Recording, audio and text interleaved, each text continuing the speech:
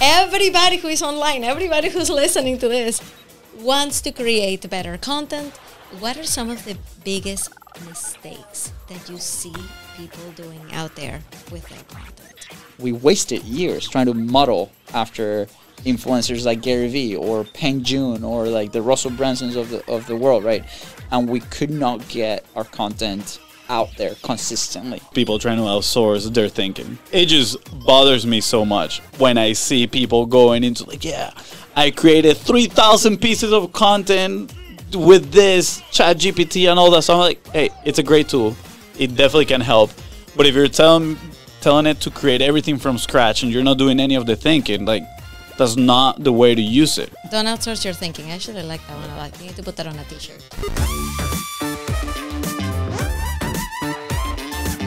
Hi, guys, and welcome back to Content is Profit. In today's episode, we grabbed this section of an interview with Ina Coveney. You probably know her from the show. We've done a couple episodes with her, and she flew all the way to from Boston to interview incredible people here in Jacksonville, Florida, and we're lucky enough to be part of her show on the second day. So she wrapped up the conversation with a question that it was supposed to be a little short, but we extended for about 30 minutes with uh, our thoughts process. And she asked us, you know, what are some of the biggest mistakes that people are making today in content and really how do we solve them? So, as you know, we've had eight years of experience creating content. In the last three years, we've done a lot of podcasts, not only ourselves, but we own the physical studio. So we see a lot of different scenarios and we go over these mistakes that we keep seeing over and over and how you as a creator and a business owner can solve them. So, with that said, enjoy the episode. Now, um, I can't let you go without asking you do you guys work in the content creation industry? Everybody who is online, everybody who's listening to this wants to create better content, is trying to figure out how to create abundant content. You guys live it every day. So I just have one question for you guys. It's going to like untap the whole thing. What are some of the biggest mistakes that you see people doing out there with their content? I think we might have some different opinions too. I'm gonna put that disclaimer right on front, which is sometimes our opinions differ. Okay. What we do as a business, we know what we're doing, right? And we have our processes and how we help people. On the content creation aspect, sometimes, and you know, we or opinions might differ, which is cool, right? Because obviously we'll brings different, different b- brings uh, different opinions and different points of views, different points of value too for the clients as well. So. I would like to hear your opinion first. you cannot lead with that and then throw like, me under the bus. Right? You go. That's right, pretty much what you just said. He's like, he's like, whatever he's gonna say, I'm gonna vehemently I mean, disagree with. No, so. no, I, I, we're from now, now people are gonna think, oh, this guy doesn't have anything. We're both we're both pretty like firm in our opinions, and I think like we both uh, have experienced a lot of things that make us think that way, and that I think that's pretty. That is, is a testament on how flexible this space is, right? Mm-hmm. Because right. you know we've worked now with like over a hundred clients, which is incredible at different capacities, right? From all the way from coaching to like fully servicing content ecosystems, from people that have been on the biggest stages in the United States as speakers or authors to very small entrepreneurs, right? Mm-hmm. So my personal point of view, and then we can start riffing off of this, is people probably as a I don't know if it's a bigger mistake because there's there's a lot of mistakes, but my, my point of view is like content is a constant hypothesis of like what can we put out there to continue to attract. And again, we have to define what the goal of that content is. So, to be very specific with our podcast, the goal of the podcast is to develop really high quality relationships of people that we really want to hang out with and learn from and maybe partner with in some projects, including being a client, for example, right? You were a guest on our show. We have not worked together, but it's totally okay. Now we are working together, right? Mm-hmm. And and uh, you became like a really good friend in the industry. So that's goal number one for our podcast. But people assume that, for example, the podcast is a way to reach new audiences, and then that audience to then translate into into business, which it could be a really cool side effect of the main goal that we have. So I think number one is yeah. I just want to clarify: some people do have that goal exactly for their podcast. ours is not that one. That Yeah. is kind of like a secondary goal. So, so I think like one of the things that we see often is the mislabeling of like content or what was it the goal? People don't really know what they want to achieve with their content when we ask them, right? So, uh, with that said, let's say once it's defined, right? We're big fans of creating your own process of content. Like we've spent, we wasted years trying to model after influencers like Gary Vee or Peng Joon or like the Russell Brunsons of the of the world, right? And we could not get our content out there consistently, right? So um, once we decided on like, okay, this is what we're gonna create, how we're gonna create it, that unlocked consistency and frequency, for example, right? And he started to put in, we started to put in the reps, right? Once you get that base, and I think this is where w- our opinions differ a little bit, right? Is perfect. Like, are we being consistent? Is our message being heard? Then you you can start playing with the different levers uh, on what type of content are we doing, how are we crafting the hooks, how are we, you know, is it short form versus long form? Are we doing multi-purposing? Are we doing focusing on YouTube? How do we like YouTube alone is a a massive undertaking on like how do we do the thing, but also deciding am I gonna be creating low friction content, or am I gonna have a massive team behind to produce like a super high quality content, right? Like what also I'm very I'm a big fan of like what do you like to create, right? For for us, like for, or at least for me, Content is Profit version one was literally going on Facebook Live and have a really cool conversation, and then that's it. There was no editing on I'm the just back end. say the good old days. The good old days. Those are some fun episodes of content. Th- Sprout. they're still really fun, but they have evolved quite a bit, right? Obviously, we're now in a studio. We have a multicam setup. There's a producer in the back, like, which the essence is still there, but it has changed a bit. Uh, but we never wouldn't be able to get to episode 500 plus whatever pieces of content come out uh, without that. So I think like there's all these elements that we need to start experimenting with to get to. It's always going to change, like growth, like the the success thing, like we're you know, and I think that's where Fonzie comes in. Like we need to structure this clip this way, right? And uh, I'm very more like let's just put it out there, right? See what happens. And obviously he'll dive a little bit more into what he thinks. But that's the fun part. You can start experimenting. You know, Fonzie mentioned in one of the uh, our talks is like eighty percent of you know what you know it works, and what is what works. Well, mainly what works for you to put content out there because if you don't put content out there, nothing's gonna happen. There's no feedback that you can learn from, and then twenty percent testing. So visually, what would that example look like? In our case, like eighty percent will be the podcast and the clips from the podcast. Well, now what's the 20% that we're testing? Are we testing trends on vertical content because that's what's happening? Are we testing ads on the podcast? Are we testing, you know, uh, individual My brother clips? has been testing dancing videos, so we'll see how those perform. Definitely not. Don't look for those. not happening. He wishes. Uh, but again, you know, you create a very unique type of content. Like you've been creating content since you got to the studio, right?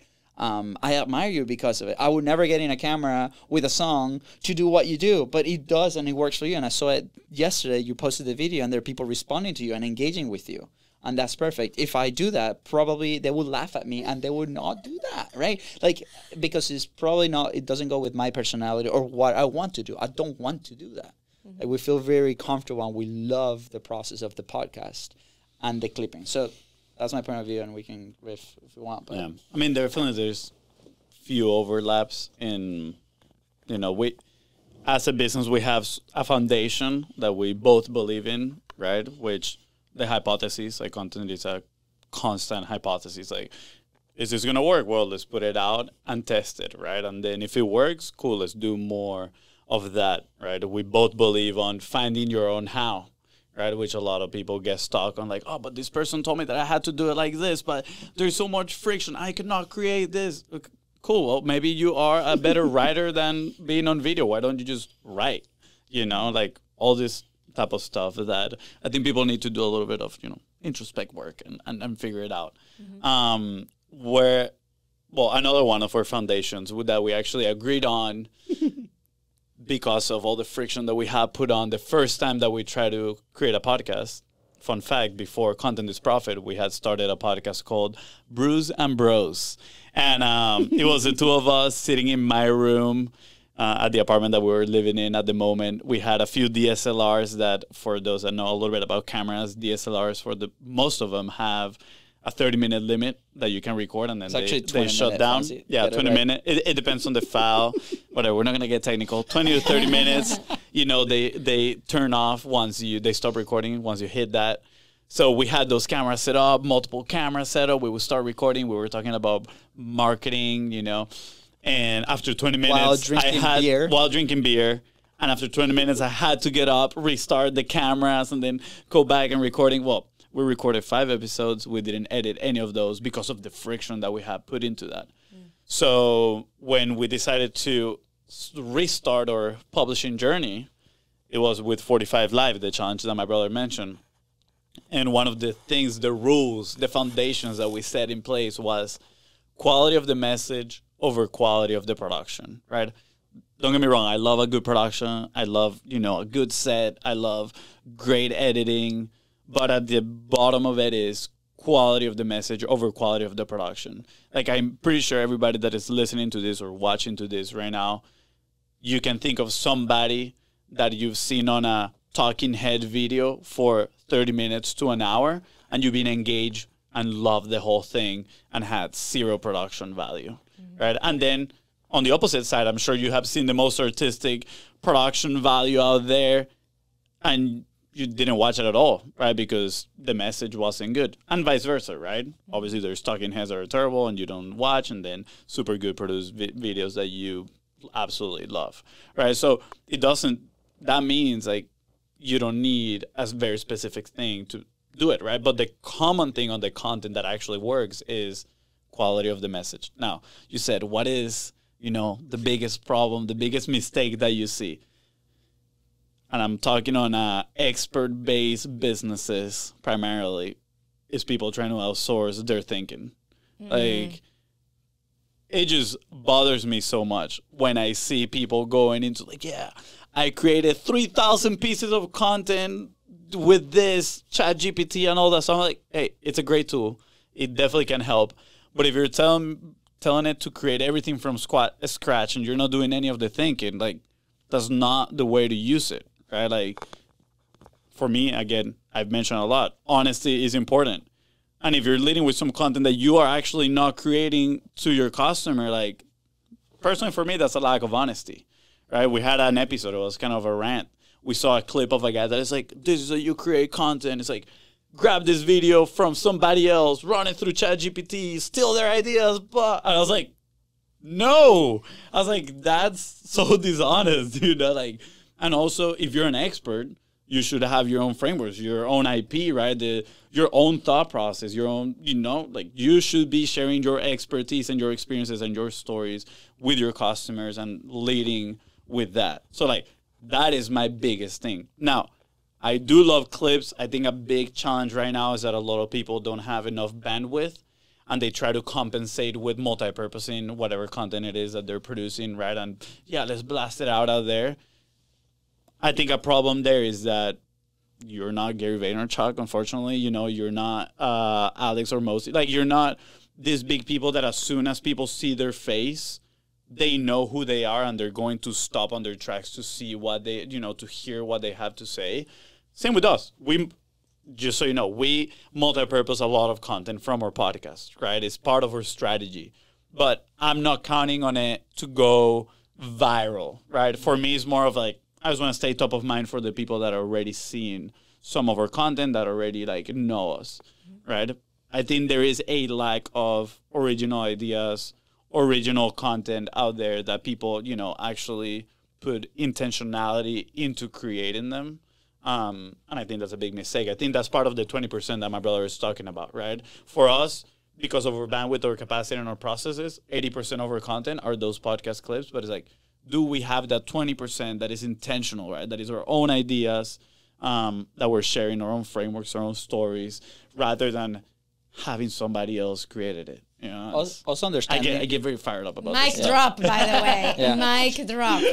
Um, I think is also understanding like where's that content going? Like what what's the platform that we're publishing on? Like for example, like a lot of the traffic in our YouTube specifically, and again, like we publish our episodes on YouTube with zero expectation, right? Like we're like, it's gonna be out there. It's gonna serve one, two, t- you know, three, ten, two hundred people. I don't care. It's gonna be there. Uh, but then you start learning a lot from from the stuff that you put out there. Be like, okay, um, reading at the data, like consumption data. Are people actually watching the whole thing? They're dropping a minute ten. Why? And you start learning about you know yourself, and just keep a mind open, right? For the clips, they're never to be perfect, right? Uh, but at the same time, the clips drive 90% of the traffic. And we've seen people transform from YouTube to the listener. And a YouTube consumer is very different than a podcast listener, right? So it also matters, right? So the way that I personally see it is like these data points that are just helping us kind of navigate this crazy thing in the vehicle that we enjoy creating, right? Um, so like to Fon- Fonzie's point, that's how we've been able to develop our own frameworks because we talk about them on the show, we talk about it on the content. We have to think about those things before we put them out to the world, and uh, and is a, again ever evolving content. Is a very good example. Is like this creator Casey Neistat. Are you familiar with Casey? No. So he's he's had documentaries on HBO, and he his YouTube channel is very unique. He had a phase where he was daily vlogging but his vlogging was like really high quality shoots and he has really good e- equipment and his studio is like very unique. The studio itself is a character on its own right? And he uses props. And he's like what do i have in my hand to create? And he has a lot of tools and he draws and he puts camera in these weird angles and he's in new york so he has a ton of stuff to work with environment right? And then he has his older brother i don't know if you knew this but his older brother is also a creator but he's a, also a very different creator. He's a storyteller, and he is also he has a workshop, and he's a dad, and and his creation is very. Uh, not catered to the algorithm like a modern creator could be but he's grabbing a ton of traction because it's very unique but one video takes him it's not a daily video it's maybe two videos a month because it's all laborious but that's what he enjoys doing right so people have to find that and then companies i think finding their own voice. Like who's the person if the if the company is running a podcast who's the actual person that runs the podcast? Is it the cmo is it the ceo is it like who's there that is the voice? Is it a- a- outsourced talent? Why is it outsourced talent right? Are we doing user generated content? Does that align with our goals right? Uh, i mean there's a, a an awesome case study of a chocolate um, company that they went mega viral, right? And they started selling a ton on TikTok and on Instagram. And uh, the guy has a company. He created the chocolate, but then he gave full creative freedom to his creators. So what he did is like, hey guys, um, here is the chocolate. You go do your thing, create how, whatever piece of content you want to create. There's no limitations. You even create your own social handles. So it's not like a proof handle, it's not a verified handle. And you guys start putting content out there, and you guys are all affiliates. And whoever was good at creating content and driving sales will get a lot of money. And that's how they get paid. And he had pretty good editors that he will keep on, on payroll. But the vast majority was am I good enough to create engaging content for that specific product so they sell? And then the ones that were not will weave themselves out because they were not selling, so they will go find a different thing. But that was a pretty ballsy thing for that company to do to give full creative freedom. How many companies out there will give full creative freedom to a creator to create whatever they think is going to work because they're connected to the industry to do that? So I think that's part of the big problem. People hired production companies or whatever to bring this vision to life, or maybe to they hire the expertise of the feedback, and they're like, okay, perfect, you guys are the expert in the industry. What can we do? And then ideas get pitched. This is the concept that we're gonna go for. I'm like, no, I really want this to look and feel this way. But why? Why were you hiring other people in the first place to run that play if you're gonna overrule everything that you say? And we see it with like production decisions all the time, right? Uh, so it's like this dance between ideas, your thoughts, the, the production, who's in charge, who's not in charge. And I think that's why probably smaller creators and entrepreneurs and maybe the people that listen to this show have a big advantage because you can pivot very quickly and discover your medium, whatever that is. Um, it's an experiment. A lot of people get too afraid of what uh, others are gonna think about me, you know, and then they're afraid of putting their message I'm afraid out of what people are going to think world. about you. about me. Um, I'm, I'm, I'm scared of what people are gonna think about your legs, bro. Dude, they are. Chef, look at this. Ah, some some Soccer, play, soccer. it's soccer here. player Yeah. legs.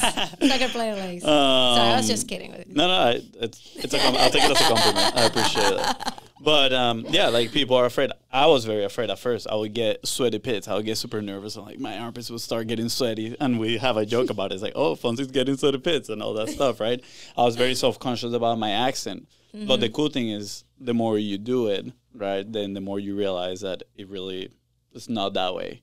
So a big mistake, especially for people that are might be starting or might be thinking about, all right, how do I publish? Where do I publish? Is that that might be holding them back a lot. And I know my brother mentioned about structure and things like that. There is definitely a technical aspect, right? A, a t- tactical, right? Technical, technical, on the sense of like how do I structure a clip, right? Like how do I create hooks, right? Like copywriting knowledge, all these things. Yes, but I would say do not get hold on on that. Do not let you know your perception that you lack knowledge in certain skills stop you from putting the content out there, right? Because the best way of, about learning is doing the thing, right? So put the content out there, and then you're gonna have information. You're gonna get feedback from the audience, and my brother mentioned on, oh, this is working. Let me create more of this. People are attracted to this hook. People are attracted to this topic, right? Oh, people are attracted when you know I actually don't start with a hook, but I actually start with the story, right, etc. Like this structure is like there's not like a set in stone rule or of how you should be creating these things. Mm-hmm. Um, but the most important part is like you cannot figure any of those out if you don't put your content out there. Yeah. And think for yourself. think for yourself. Don't outsource your thinking. I actually like that yeah. one a lot. You need to put that on a T-shirt. All right. Yeah. Content is profit. Do not outsource your thinking. I Like outsource that. everything else. I like Just that. not your thinking. Yeah. Right? Outsource your production with us. Yeah, with us. Content, content is profit.